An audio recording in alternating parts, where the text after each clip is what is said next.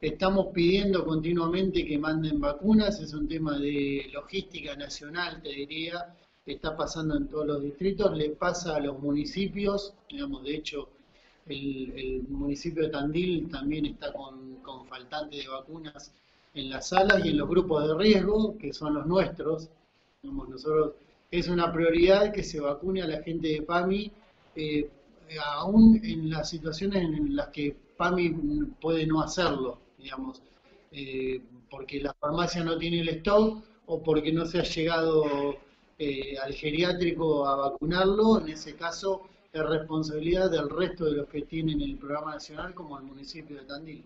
¿Tienen, eh, Facundo, un número de la cantidad de gente que se ha vacunado hasta ahora? Em, ¿Cuántos faltan? ¿En qué, ¿En qué parte se está del cronograma? Tenemos un número de vacunas eh, que han recibido las farmacias y que hemos recibido nosotros, que son más de 6.000 vacunas a nivel Tandil.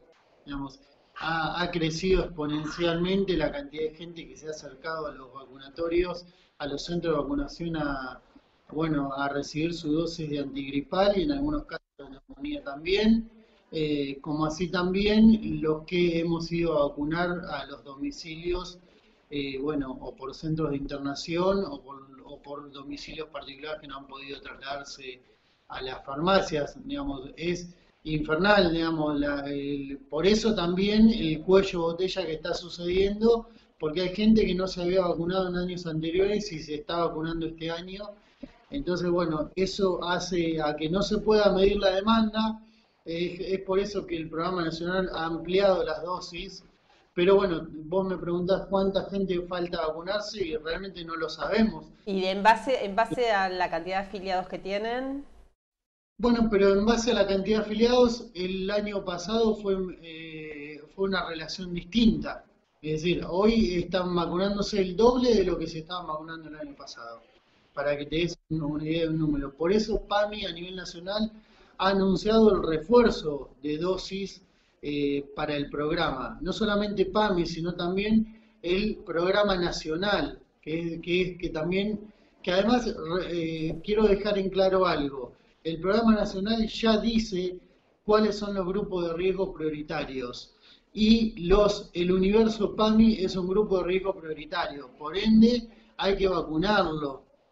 Eh, los centros de vacunación tienen que ser responsables en ese sentido, tanto los públicos como los privados que tienen estudio de vacunas o los públicos que por ahí eh, hay ciertas circunstancias en las que optan por eh, otro universo para vacunar. Yo digo que los abuelos, los adultos mayores, son la prioridad de acuerdo al programa nacional de vacunación al cual adhieren no solamente las farmacias y PAMI, sino los municipios que, que vacunan en cada uno de los distritos. Y está bueno en realidad, Facundo, que quieran vacunarse todos. Eh, se está hablando hoy de lo importante que es justamente la vacuna de gripe, la vacuna contra la neumonía. Es fundamental en este momento.